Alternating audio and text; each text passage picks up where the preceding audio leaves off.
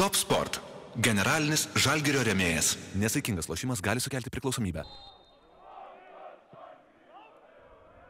Užsuktas perdavimas smūgis ir e, čia 1-0.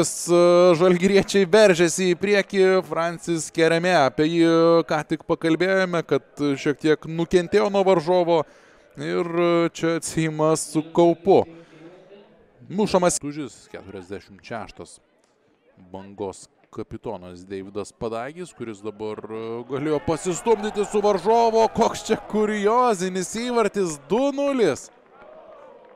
2-0 e, Vilniaus Žalgiris išsiveržė į priekį, e, turi kuo pasidžiaugti ir būtent dabar Vilniaus Žalgirio futbolininkai.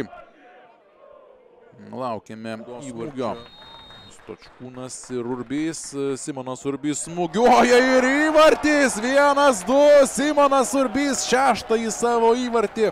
Pelno šiame OptiBeta lygos sezone ir puikiai išpildyta standartinė padėtis.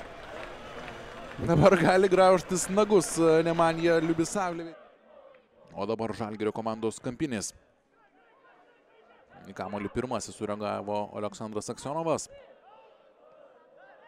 Veiksmas tęsiasi toliau ir čia 3-1.